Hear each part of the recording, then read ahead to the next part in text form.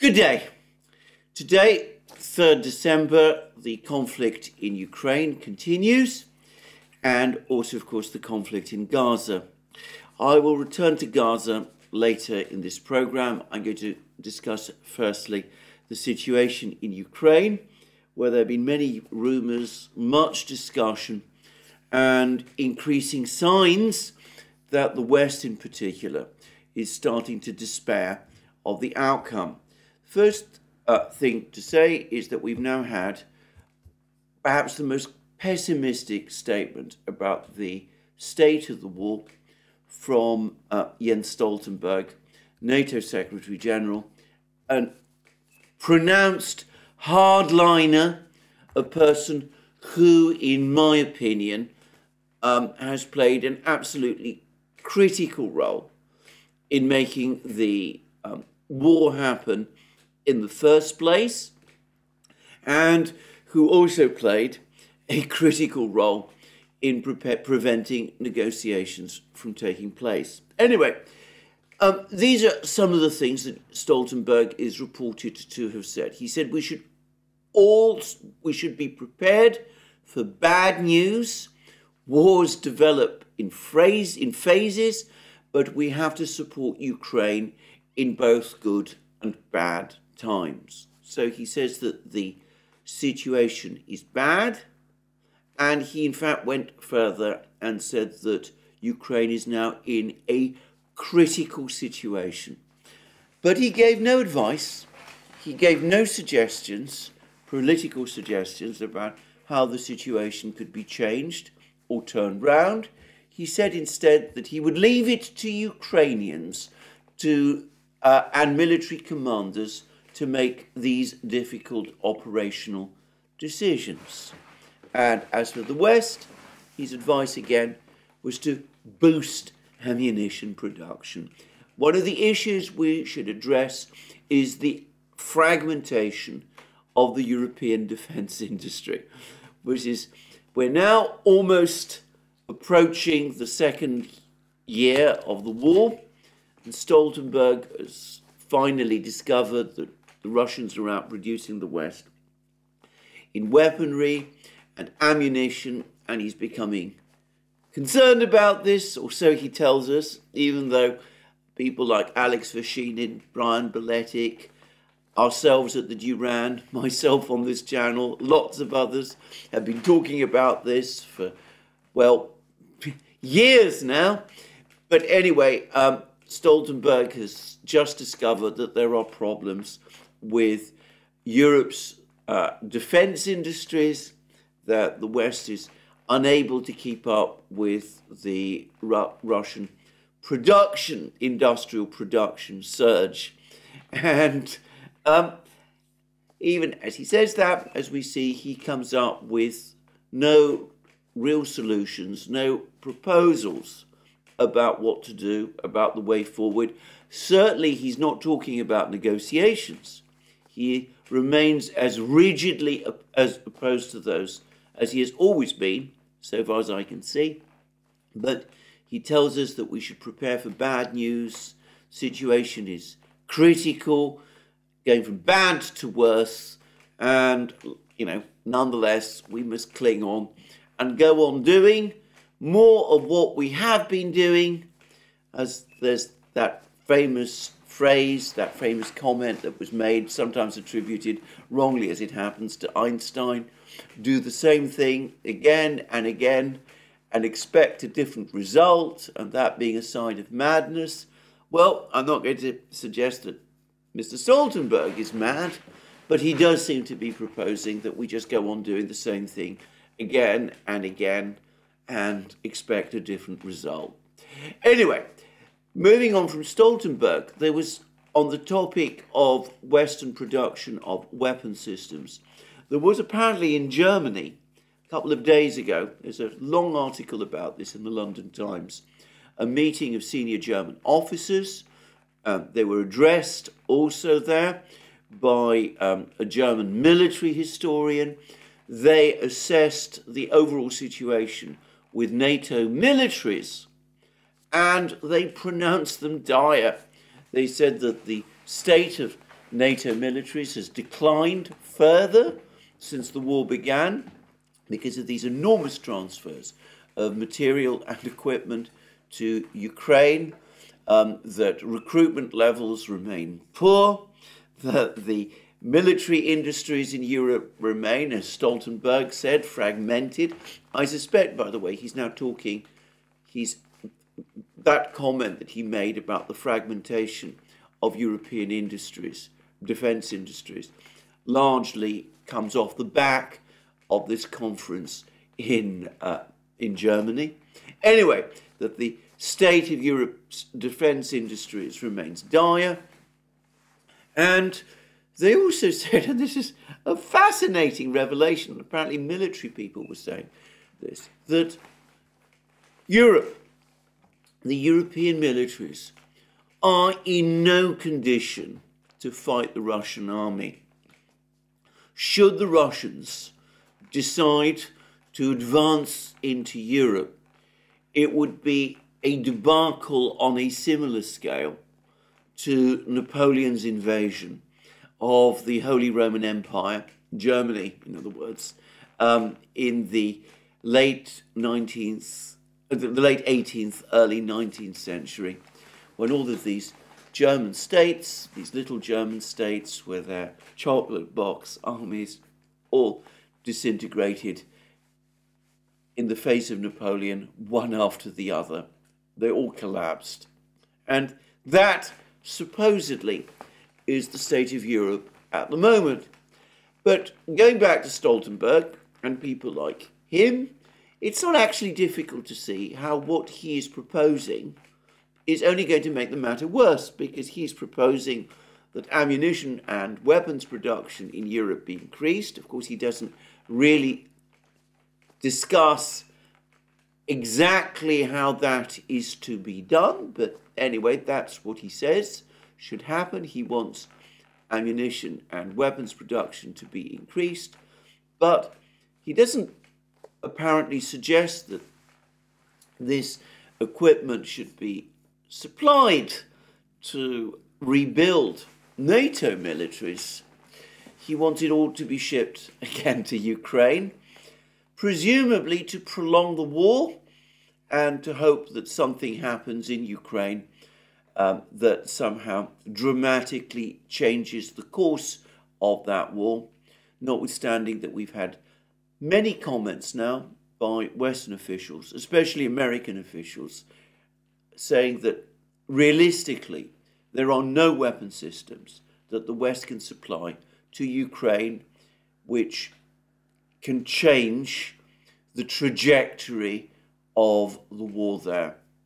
Anyway, that's Stoltenberg. And we can see that when Stoltenberg is starting to talk in this way, we get the sense that things are going very bad indeed. And of course, he's telling us to prepare for the things to get worse still. And I'm going to suggest that this explains lots of things that are taking place in the political sphere. The poisonous infighting that's taking place in Kiev, for example. And now the mayor of Kiev, Vitaly Klitschko, has joined the fray. He's been giving interviews and he's talking about Zelensky, though he's careful not to name Zelensky himself. He's talking about Zelensky in scathing terms. He again says that Zelensky has no tactical judgments, that Ukraine is drifting into becoming an authoritarian state. He says, this is Klitschko speaking, that we're heading towards one man rule. He criticizes Zelensky's um, approach, his actions at the start of the war. He says that he says, this is Klitschko again, that when the war began in February and March 2022, the central government in other words, Zelensky himself, far from providing a clear lead, they collapsed, they imploded into chaos. It was Ukraine's mayors and local officials that held everything together. I think that's unfair, by the way, but anyway, that's what Klitschko is saying now. And their reward for holding things together in that critical period of February, March last year. Their reward for all of that is to be completely frozen out and ignored in the decision making process. So, all of the indications, again from Ukraine, of deepening political um, infighting there. Zelensky versus Zelensky, um, Klitschko versus Zelensky. I should say that Klitschko, in some respects, has uh, a longer political pedigree and um, deeper political roots in Ukraine than um, Zelensky himself does. He is one of the two Klitschko brothers, the two boxers. Um, he was a major figure at the time of the Maidan protests in 2013, 2014. He appeared for a time, in fact, to be the leader of the Maidan protests, though that was never really true. And I remember that there was some talk at that time that if the Maidan protests succeeded, he might be the new president of, the, of Ukraine. And of course, if there'd been elections, it was widely assumed at the time, this was during the Maidan protests, that he would be the presidential candidate of the Maidan movement and that it would he who would take over from uh, the then president, the one who was eventually overthrown, Viktor Yanukovych. Um, as it happens, the Americans didn't like or trust Klitschko. And there was that famous telephone conversation between um, Victoria Nuland and the US ambassador to uh, Ukraine, Jeffrey Pyatt, uh, the one in which the two of them, Nuland and Pyatt, basically agreed on the membership of the post Yanukovych Ukrainian government. This before um, Yanukovych had yet been overthrown.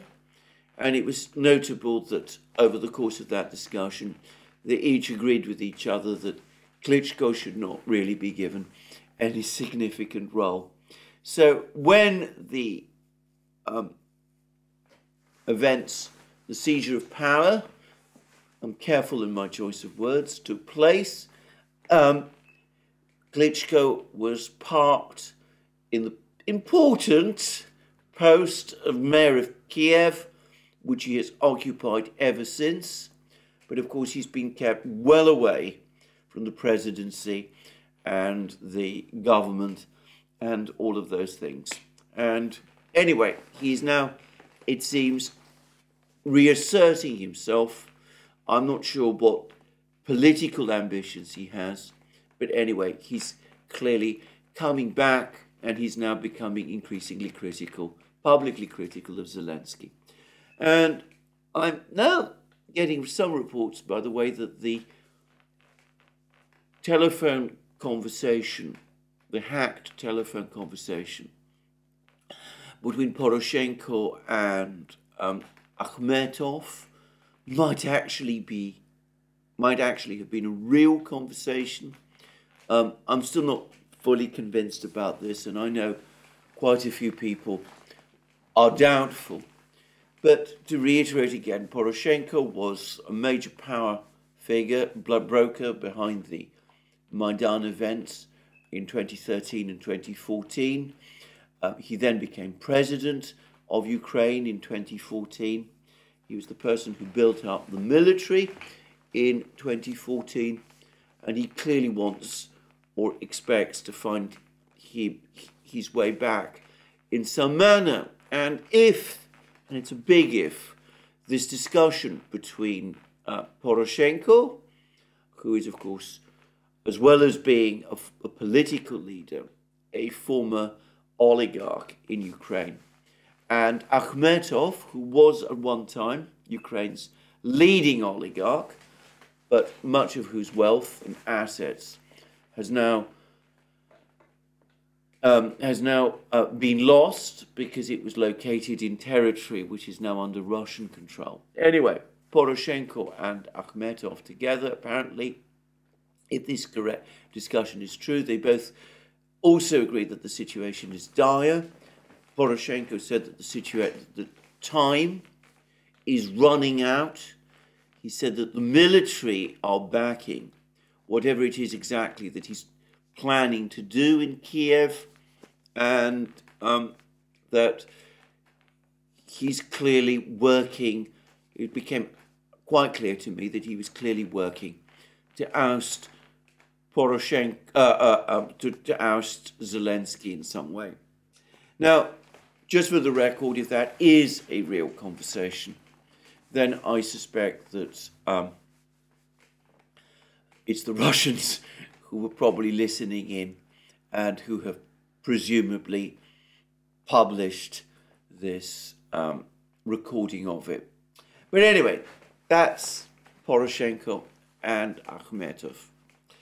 Now, all of this is going on, all of these power games in Kiev, signs of despair in the West, Stoltenberg's comments going further perhaps than I've seen up to now from any Western official, admitting that the situation is now becoming increasingly grave, but no sign of any real strategy. And we've had that report, which I discussed yesterday in my program, from Seymour Hersh about the negotiations which were taking place between the Russians, supposedly taking place between the Russians and the Ukrainians, between the Russian chief of the general staff and commander of the Russian forces fighting in the special military operation, and Zaluzhny,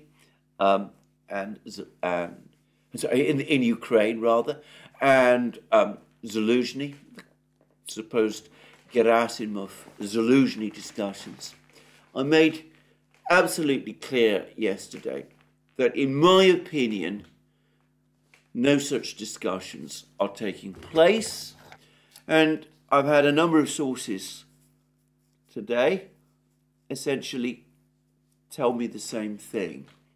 And I've had one source in particular who has been consistently reliable about these matters, um, though I should stress this is a person who is not in either Russia or Ukraine, but is in a third country, but who does have extensive contacts in Russia.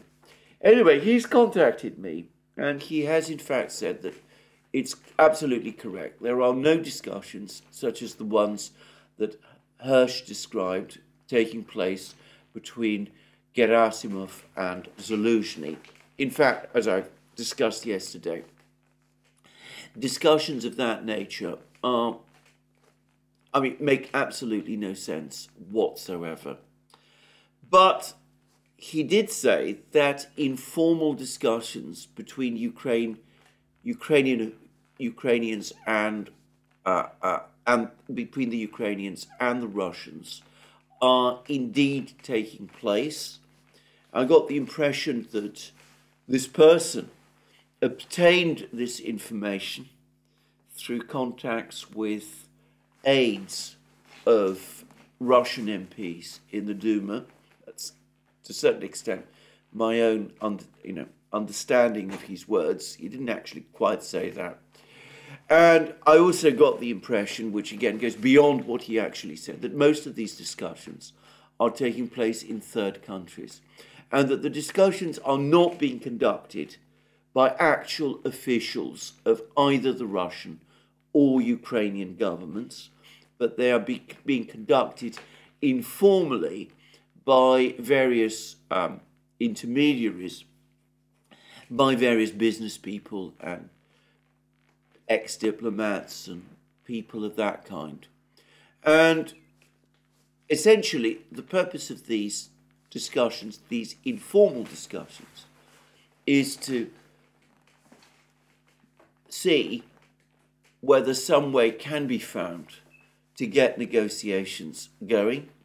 And again, it's clear that the initiative for these discussions on the Russian side is coming from the Russian government, but that on the Ukrainian side, Zelensky and the team around him are in opposition. They are hostile to these discussions, and that the Ukrainians who are engaging in these discussions are having to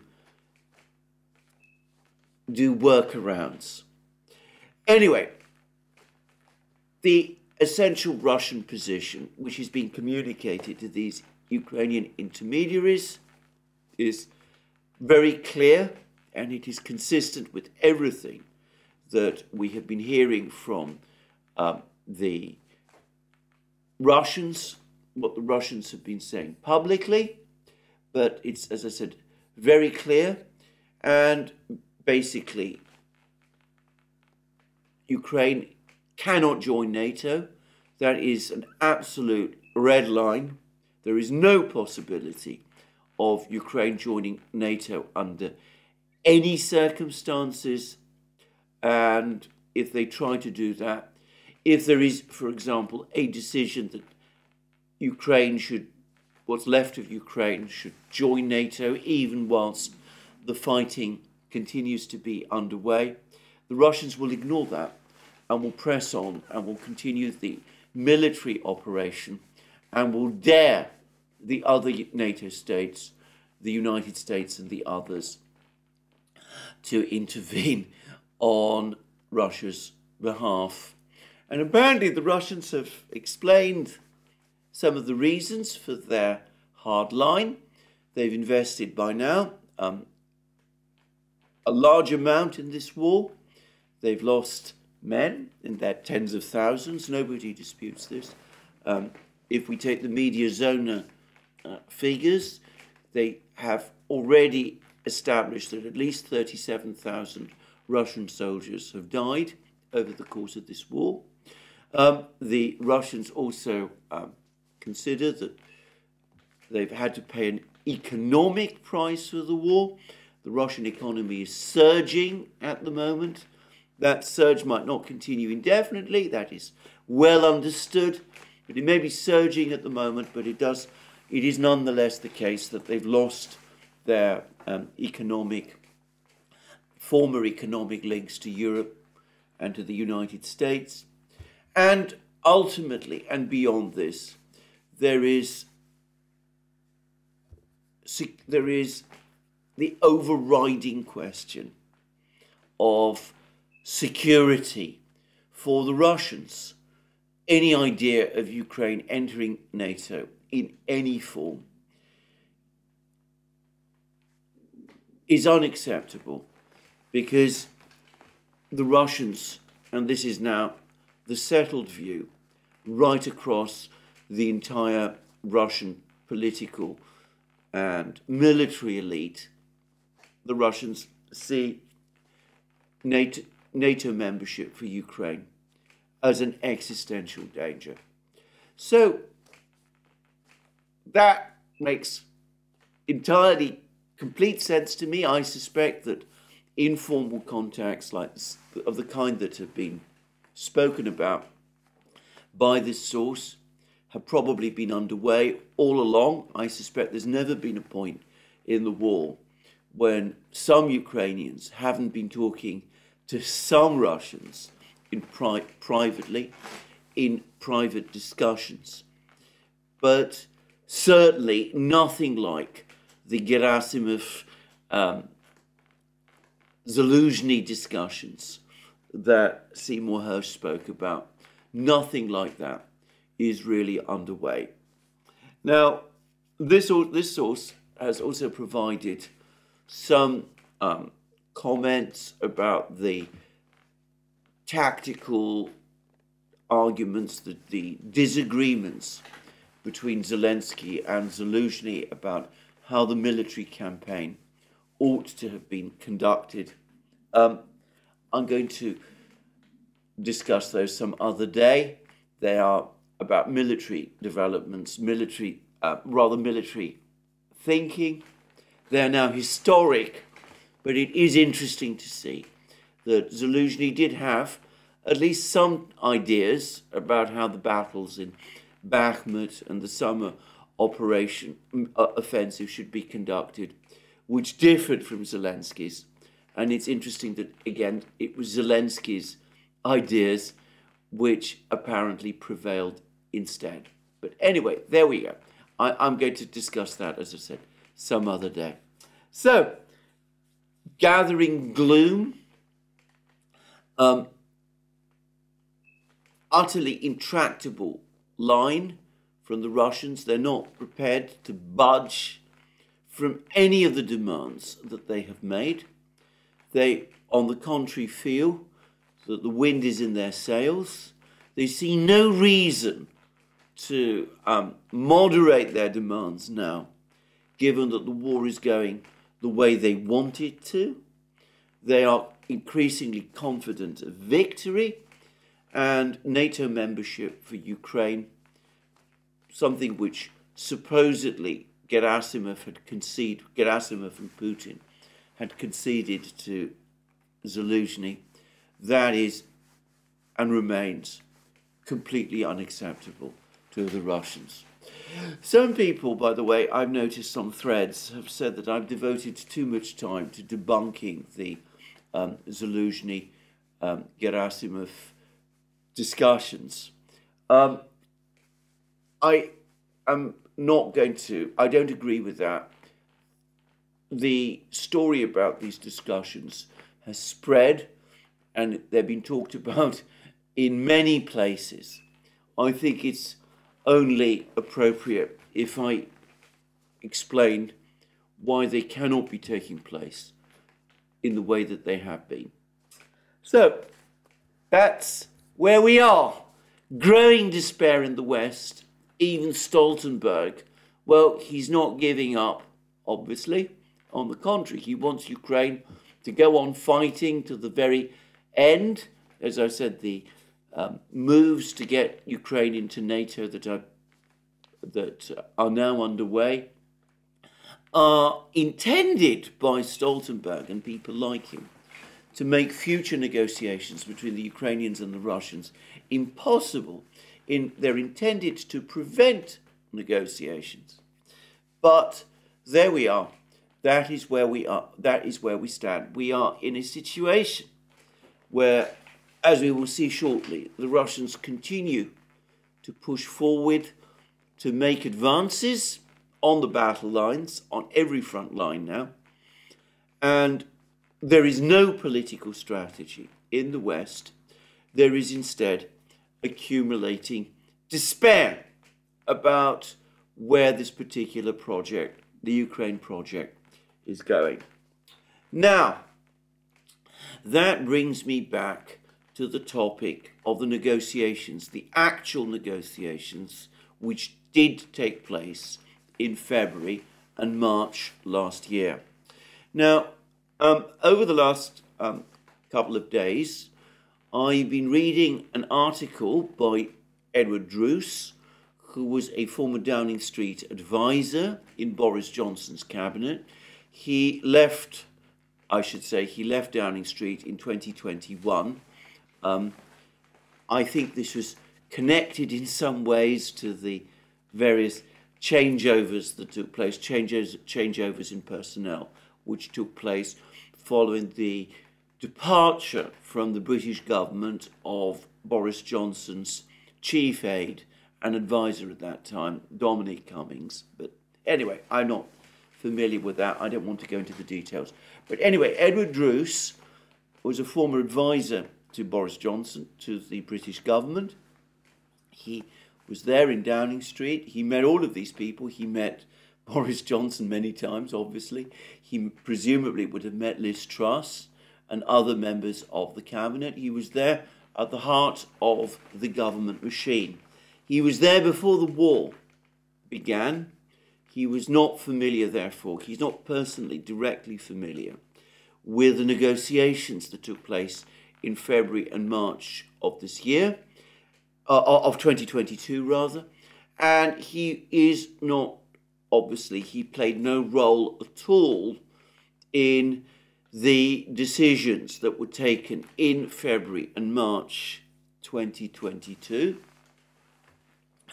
to basically bring those negotiations to a stop, to go back on the draft agreement that the Russians and the Ukrainians had almost, well, had reached in Istanbul. A decision to go back on that agreement, which we know Boris Johnson and the British government played a key role in bringing about. Now, Edward Druce has done a very good program providing a detailed timeline about um, the um, negotiations themselves. You can find a video that he has done on YouTube on this very topic. Topic. I should say that this video predates the Kujat Schulenburg report, which has appeared in Germany. Um, it's in some ways actually more detailed in the timeline it provides than the Kujat Schulenburg report is. And of course, it's also made from a British perspective. But Druce has made a point, a further point, in an article which he has written in Substack, which I think is actually very important and which no one else has made and which needs to be made now. Because clearly there is some kind of effort underway to try and get some kind of negotiation process started. We've, whatever one's views about the Gerasimov um, Zaluzhny talks, they may be entirely fictitious, but somebody seems to be keen to plant the idea that there should be negotiations. We've had others talk about this. We had that Newsweek article about two weeks ago about the Americans pressing Ukraine to begin negotiations, pressing uh, Zelensky to begin negotiations. We had a further article some days ago in the London Times saying that Germany and the United States have made a joint decision to restrict weapons deliveries to Ukraine in order to get uh, the Ukrainians to agree to negotiate with the Russians. We've had Richard Haass talking about the need for negotiations. Um, we've had, well, the, I think, reliable reports about these informal discussions which are taking place between the Russians and the Ukrainians at the present time, in which the Russians have been setting out their strong terms, which I discussed earlier in this program. Now, all of these attempts to restart negotiations are essentially an attempt to take us back to something like the agreement that was almost agreed by the Ukrainians and the Russians back in March and April 2022. Um, there is no real, and there's still some aspects of that agreement with which one senses that Western leaders would be are unhappy. But basically, I think that a year and a half later, if they could find some way of ending this war with some kind of an agreement that is close to the outline of what was agreed by the Russians and the Ukrainians in March, April 2022. Some of them, at least, maybe not Stoltenberg, but some of them, would breathe a sigh of relief. Well, given that that is so, one might assume one would assume that the topic of those negotiations would be something that would be discussed extensively in the Western media in general and in the British media in particular, given the situation we have now, and given Britain's central role, its critical role in preventing those negotiations last year bearing fruit. And Edward Druce makes the entirely correct point that there is total silence about the negotiations, uh, any discussion, any mention of those negotiations in any part of the British media at the moment. I read pretty much all the uh, British printed media, not the tabloids, but all the big, uh, big uh, newspapers, the Times, the Independent, the Financial Times, all the rest, Guardian. Um, I read The Economist. Um, I look at the BBC, Reuters. It's a wall of silence about those negotiations. Nobody talks about them. And Edward Druce has apparently, well, his video is based on an article he apparently wrote. And remember, he's a former Downing Street advisor, so somebody who's, you know, carries, one would have thought, some authority in British government circles. Anyway, he's written an article about the negotiations, he's provided a timeline, he's discussed Britain's role, and he's been trying apparently to get the British media to publish it. And the British um, media have uniformly, without exception, refused to do so. Not one of them, no outlet, no media outlet has agreed. Um, it is as if there is some kind of omerta on this topic. Nobody wants to talk about what happened in February, March, April last year, insofar as the negotiations are concerned. If you go back and read old copies of the Financial Times from that period, you will find many references then to the negotiations you will find no mention of the negotiations anywhere in the British media today. And this is astonishing and it is extremely troubling. It means that it is going to be extremely difficult for uh, the British government to rethink its political strategies over the course of the about the conflict in Ukraine I'm going to suggest that it tells us something else, which is that the British, politically, the, the British government collectively, is extremely nervous about what happened last year. As I've said many times, in many programs, the role that Britain has played during this conflict in Ukraine leaves Britain potentially severely exposed to criticism from its Western partners if it turns out that things went wrong.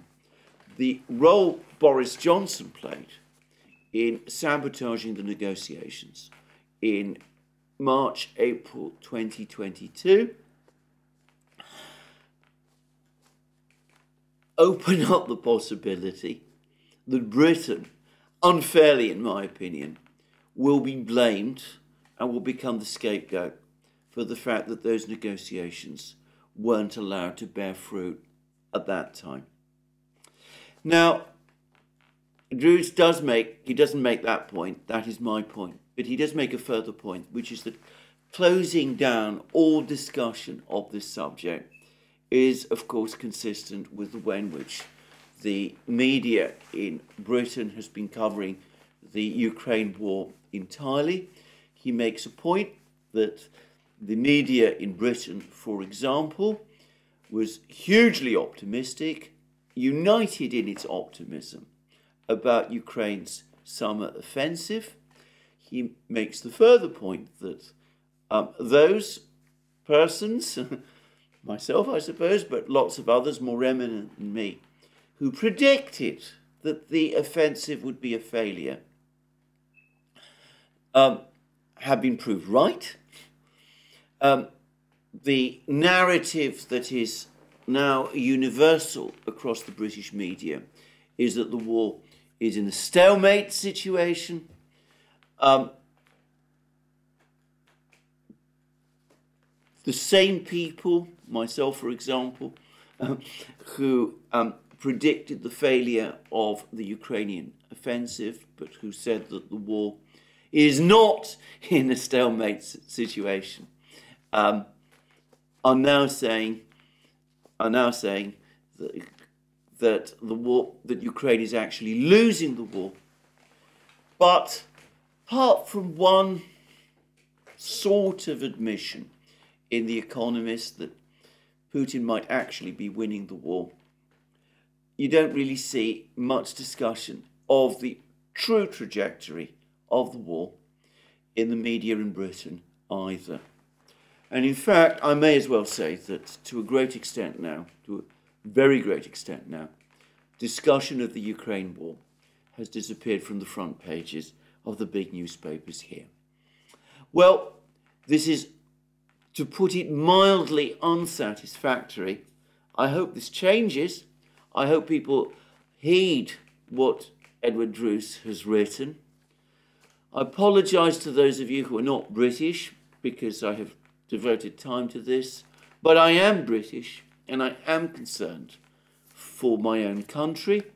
And I think, as Edward Druce correctly says, that an open and frank discussion about what is both about what happened and about what is going wrong uh, now in Britain is urgently needed.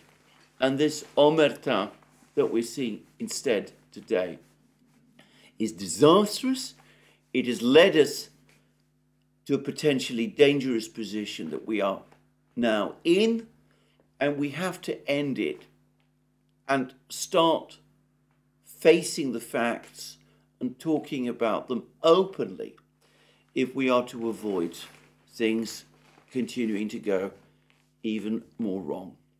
Anyway, that's all I'm going to say about this. Now, Turning to the actual situation in the war, every day now the situation becomes bleaker for Ukraine.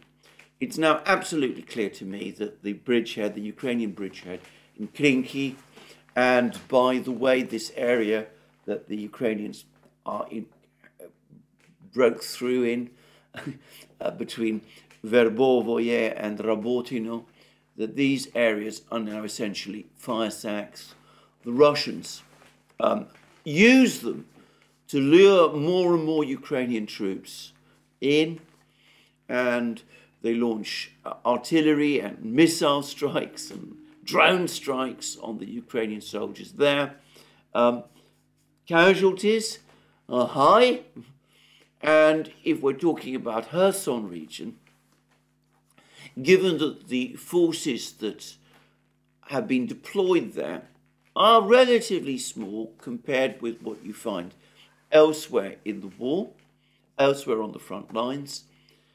The Krinky fire sack is fulfilling for the Russians the useful purpose of weakening Ukrainian troops, reducing, uh, inflicting attrition on the Ukrainian troops in Kherson, which is probably precisely what the Russians want to do.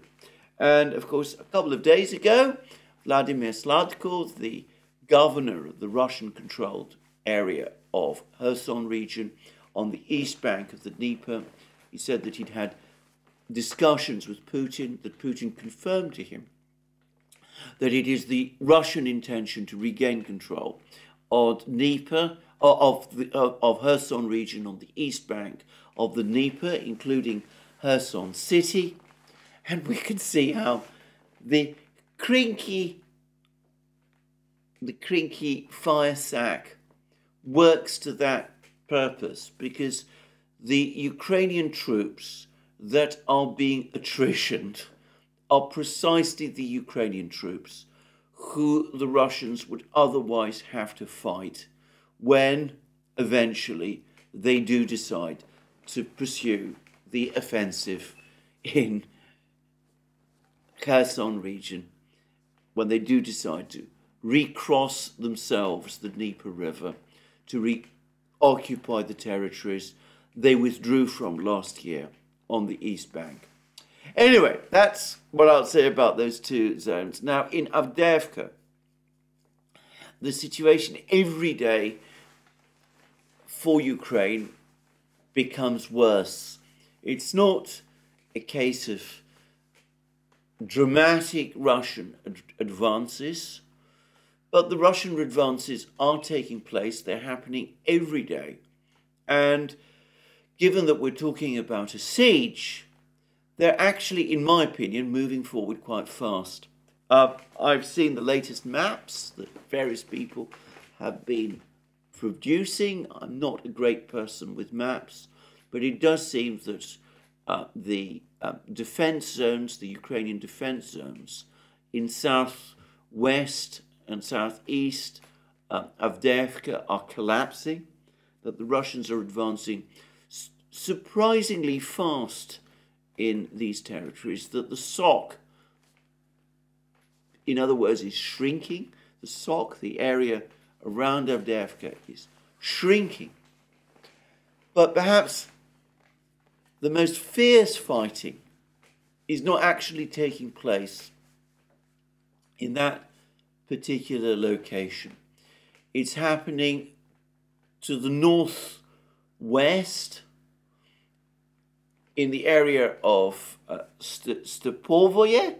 By the way, I'm seeing, I, I now realize there are actually slightly different variants for the spelling of this particular village.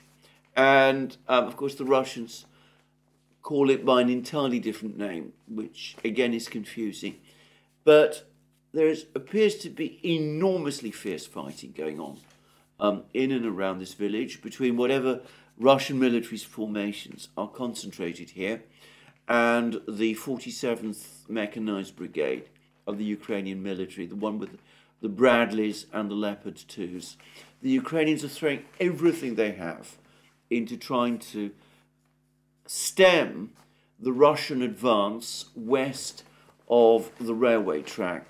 The latest reports appear to confirm that the Russians still have at the very least, a presence in Stepovoye, or perhaps even outright control of this village. But the Ukrainians appear to be contesting that control, and the fighting in this area appears to be incredibly fierce. However, and suffice to say that despite this desperate Ukrainian resistance, in Stepovoye Berdichi, it's clear that the Russians are gradually expanding their bridgehead, if I can call it that, west of the railway. They appear to be um, gradually expanding, uh, gaining ground south and north of Stepovoye, as well as the village itself. They're gradually con- gaining control of the uh, of driving Ukrainian troops out of trench lines that have been created there and um, forest plantations. And despite this intense Ukrainian resistance, it seems now only a question of time. Well, it is clearly only a question of time before Ukrainian resistance here collapses. Stepovoye falls entirely under Russian control, um, uncontested Russian control, and the Russians are able to push further um, towards Berdichi itself. And um, it's, I think, generally acknowledged that if the Russians capture Berdichi, then in effect, the Ukrainian troops in Avdiivka are in a desperate position so we could see that within the deep down inside the sack, the Russians continue to push forward. They apparently have most of the roads around Avdiivka. They can shell uh, Ukrainian um, troops and vehicles that are trying to move up and down these roads. Um, that must mean, by the way, that supplies must be getting increasingly short for the Ukrainians in Avdiivka. Presumably, they've stockpiled quite a few. But anyway, the um, Ukrainian defense lines there um, do appear to be um, crumbling within Avdiivka itself, though slowly and incrementally. It's clear that the Ukrainian forces, the 110th Brigade, are still putting up a lot of resistance.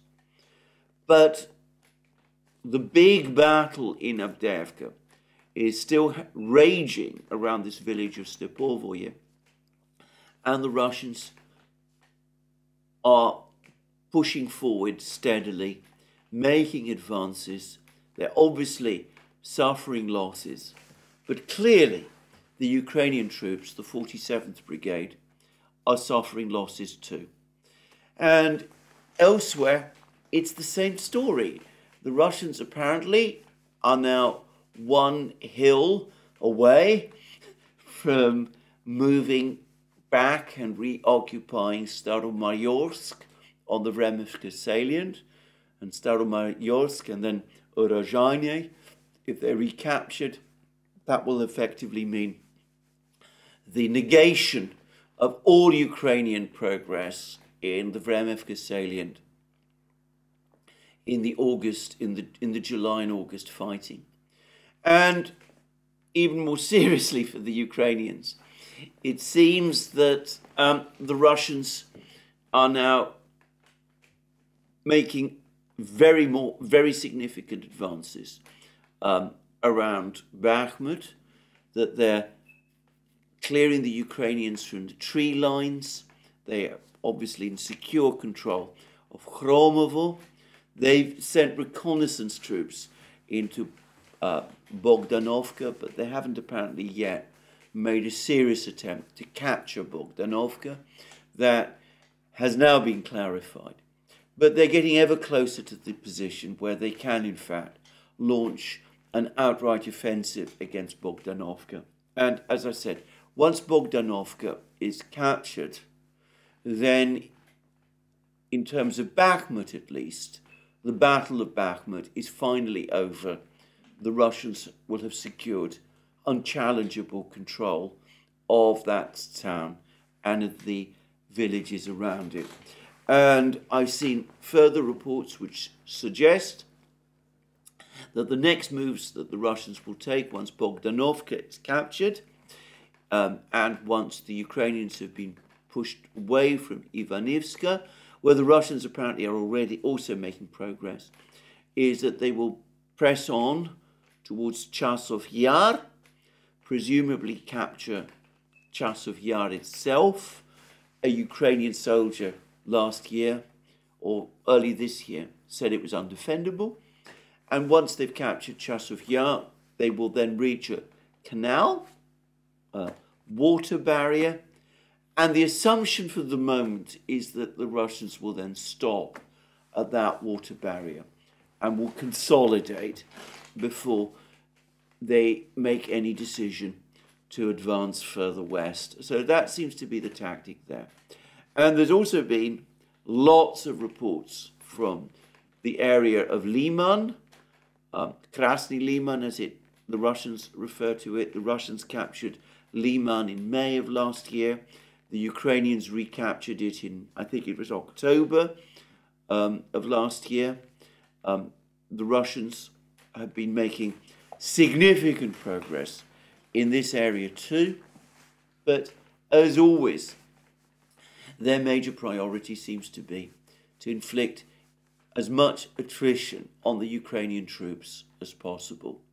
Now, I've had another this is a completely different member of the Duran community. He has written to me.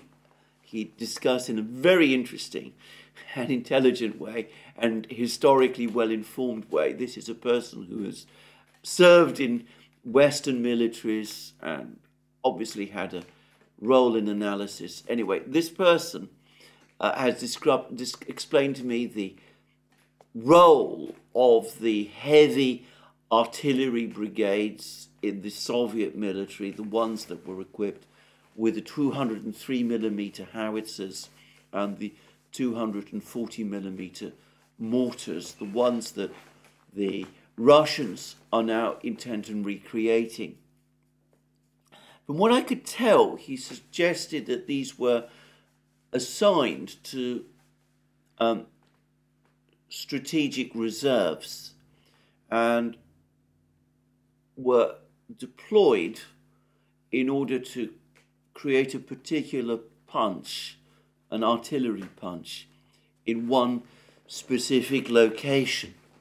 And he also said that the Soviet military also had specific artillery divisions which um, did not use 203 and 240 millimeter um, artillery, but 152 millimeter artillery.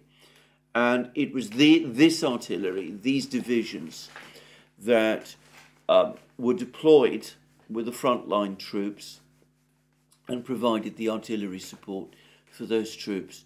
So the brigades with the heavier guns would be deployed in weak positions on the lines to support Russian offensives, and the artillery brigades with the um, 152 millimeter artillery would play a, a, a, more, um, shall we say, general role in the fighting. At least this is the extent to which I understand this. And this person suggested that if the Russians are indeed intent on recreating their brigades, their heavy artillery brigades, and are intent on concentrating their 203 millimeter artillery in that kind of way, then that suggests that they do actually have large amounts of 203 millimeter artillery so that they can afford to recreate the brigades in that way. Well, I think that might be true, but there is something else which is in the process of happening in um, military terms, which is that the Russians are also, according to some reports, in the process of um, deploying new, longer ranged 152 millimeter artillery. Apparently, the coalition tracked vehicle, and I believe it's called the Malka, um, self propelled wheeled vehicle, rather like the Caesar, the French Caesar wheeled vehicle, are also starting now to appear on the battle lines.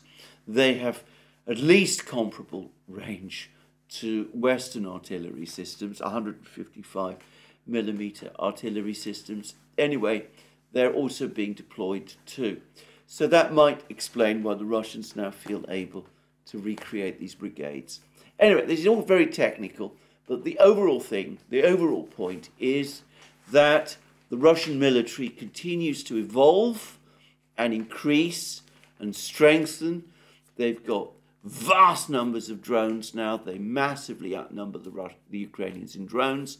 They have a very powerful air force. Ukraine's air force continues to suffer extremely heavy losses. I neglected to mention yesterday, by the way, when I went through the Russian Defense Ministry's intelligence briefing for the Ukrainian losses over the last week, that over that previous week, the week ending 2nd December, Ukraine apparently lost five, seven jet fighters, including uh, five MiG 29s and two Sukhoi 7s, 27s. So the Russian Air Force remains incredibly strong, increasingly powerful, and the Russian military continues to evolve. And in the meantime, Stoltenberg talks about the problems of the fragmentation of the European defence industry.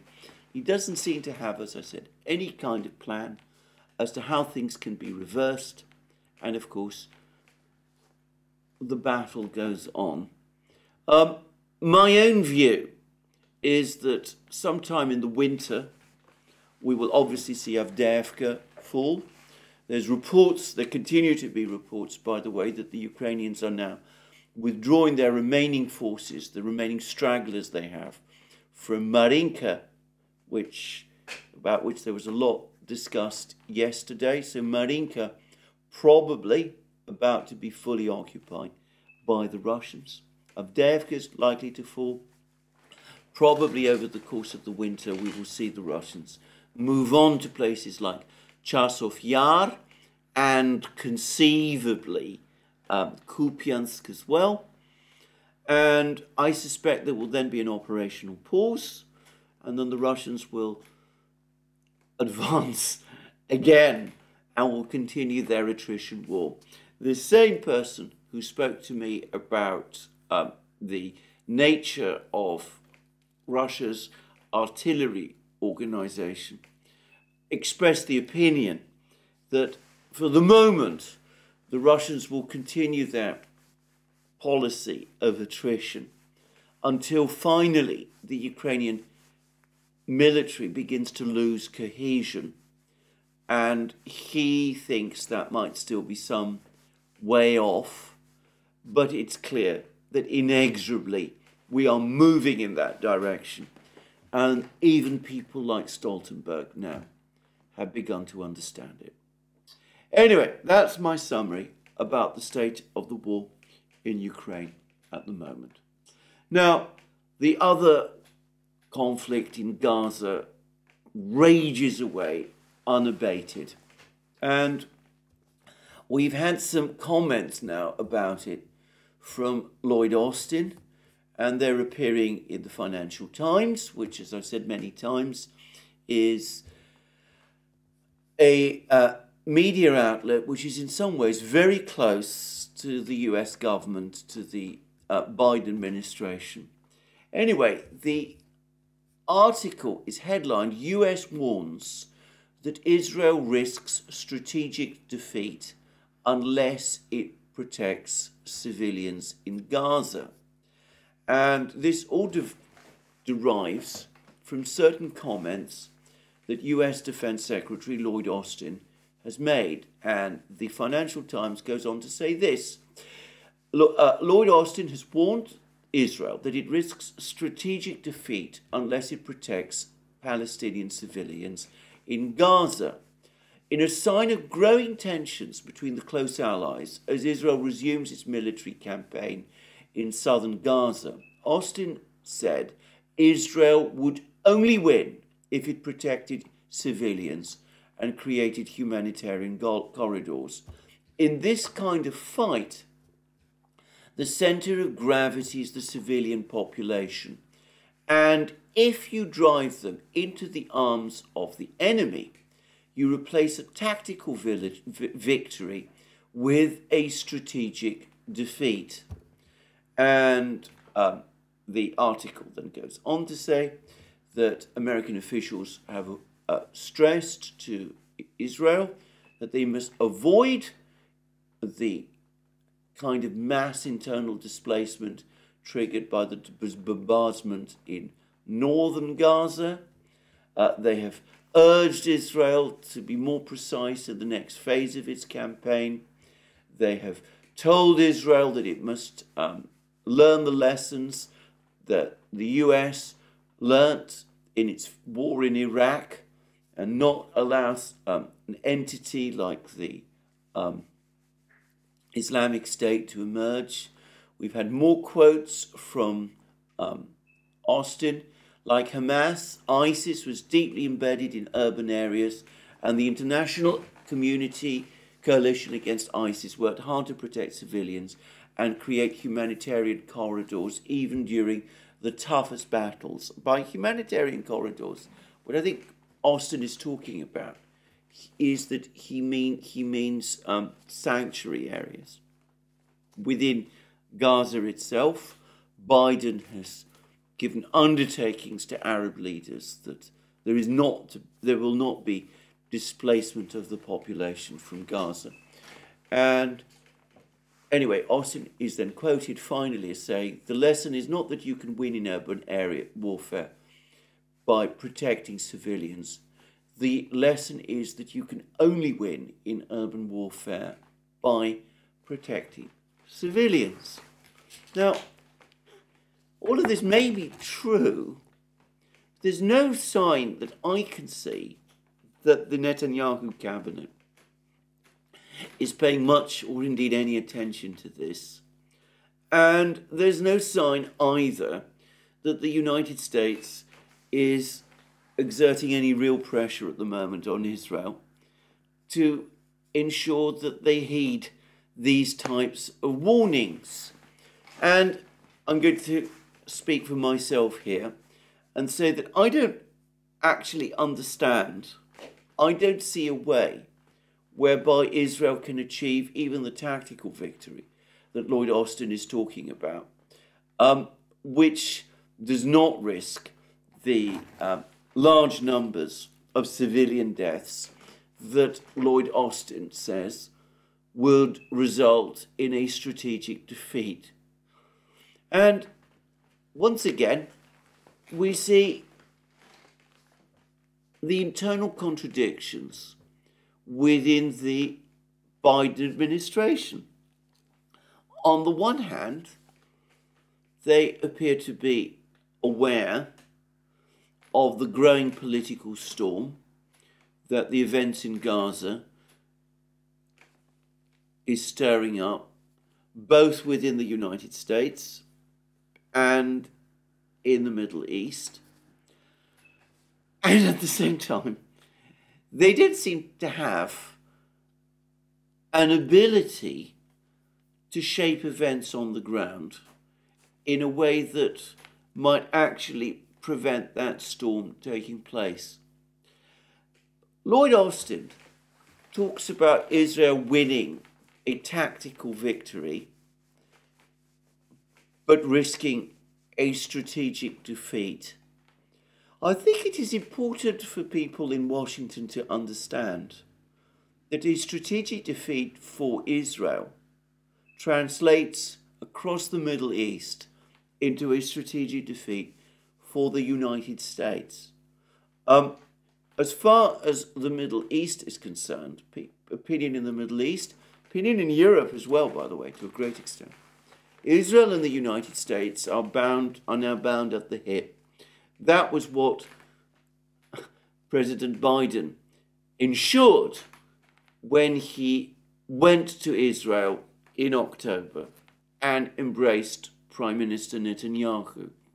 So the failure of the one automatically now translates into the failure of the other.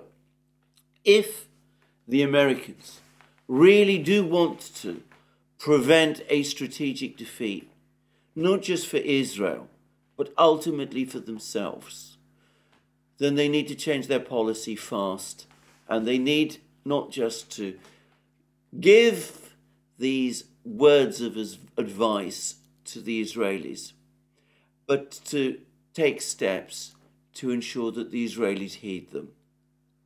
Now, can I say, sooner or later, that is exactly what I suspect the United States is going to do.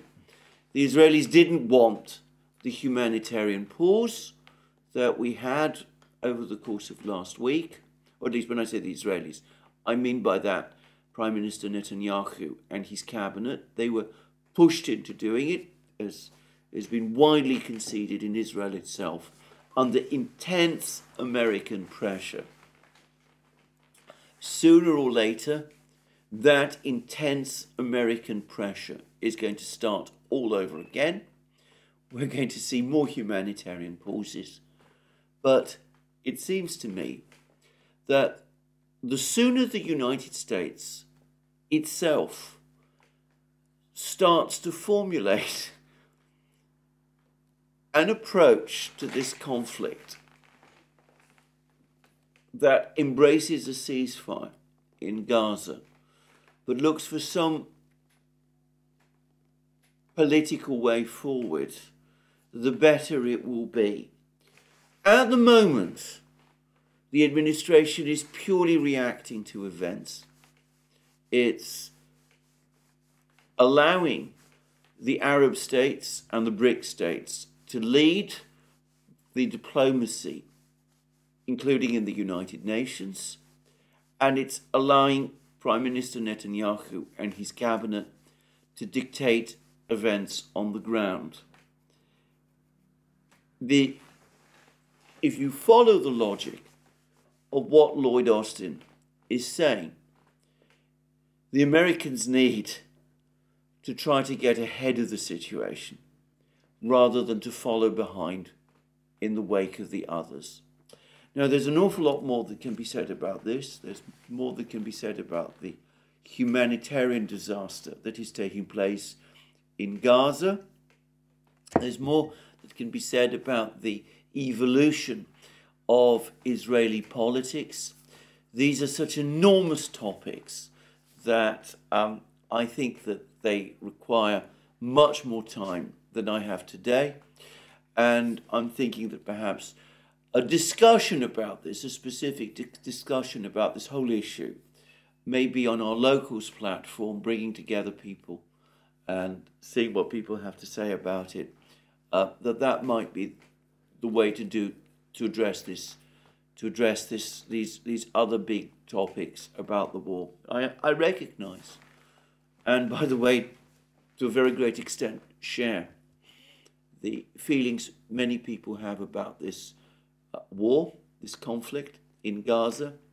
But today, what I did want to highlight is again the reactive, I would say actually weak response of the Biden administration to events, its inability for the moment to come up with a plan and the enormous risks in an indirect way now confirmed by Lloyd Austin that this passive response um, runs. Anyway, this is my program for today. More from me soon. Um, let me remind you again that you can find all our uh, all our programs on our various platforms on Locals, Rumble, and X. You can find. Uh, you can also uh, support our work if you wish via Patreon and Subscribestar. Links under this video. Don't forget also to check out our uh, uh, shop where you can find all sorts of amazing things, our magic mugs, our hats, our hoodies, our t-shirts and think, um, things like that. And last but not least, please remember to, um, if you've liked this video, to tick the like button and to check your subscription to this, to this uh, channel. Thank you uh, once more. More from me soon. Have a very good day.